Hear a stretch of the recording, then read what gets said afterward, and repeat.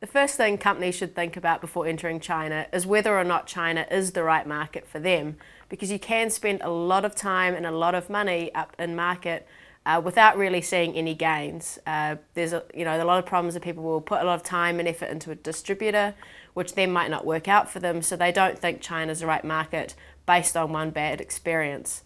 The other thing is that uh, is considering whether your brand you know, just because it works in your home country doesn't necessarily mean that it will work in China.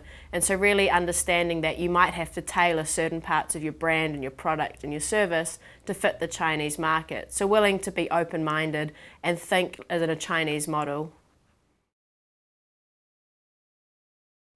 In my experience, there are some key ingredients to creating a successful brand in China. The first thing is to really look at China in a long term model. So, what are your goals three years, five years, 10 years in China? The second thing is really understanding your market and your consumer.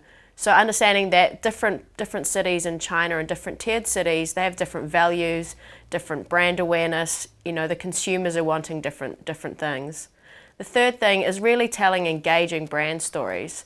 So, what is it that your brand has that no other brands have? How is that going to improve people's quality of life or their social status in China? Storytelling in China is one of the most successful ways for brands to really capture the hearts and minds of the Chinese consumer. Now that we're seeing so many foreign companies and foreign brands and products coming into the market, it's really important that companies can sell a story around their brand uh, to really promote how it is that it's going to better enhance a consumer's lifestyle.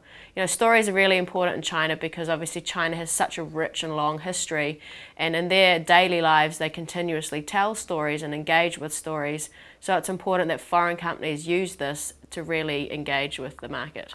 So this whole concept of storytelling is one of the trends that's emerging from China at the moment.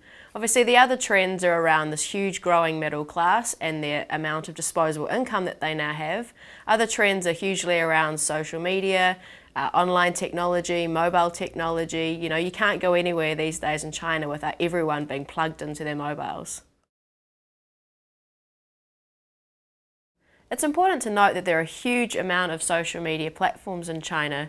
You've got ones that are, that are used by most of your online users, and then there are others that are much smaller that are used by really specific niche markets.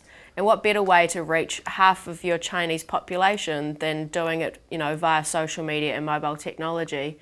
These days in China, your traditional media is just hugely expensive, and most companies entering China can't afford TV commercials, taxi adverts, print adverts. Uh, so, social media is really the way to go.